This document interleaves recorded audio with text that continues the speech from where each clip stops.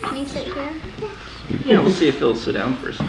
So this is Coffee and Riffs, and uh, we had a surprise surprise drop in today at the shop, and it's uh, the band See Through Dresses. Oh. And, yep. And this is Sara, and she plays guitar in See Through Dresses. So, uh, sorry, least sorry about didn't hit the that. He's uh, There you go. he's figuring that stuff out. How to be around people.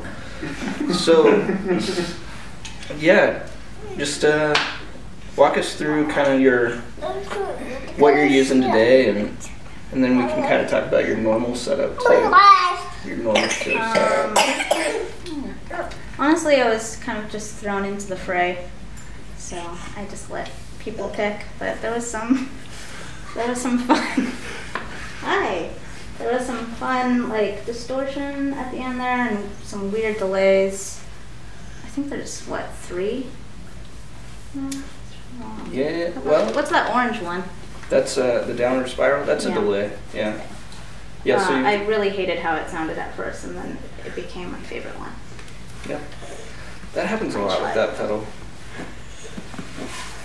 Yeah. Forgive me. But yeah, I will later. Um, yeah, you've got we got a yeah chorus and then a looper. at the end there.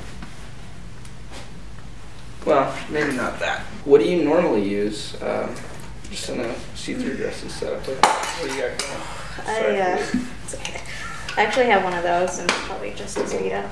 the wave got, cannon. Yeah, I've got a wave cannon and I've also got another Caroline Guitar Company pedal. Um, I also have yeah that kilobyte. I have three fun distortions. Yeah, one of which is the wave cannon, and then I have a small sound big uh, mini, Okay, yeah. and then an OCD.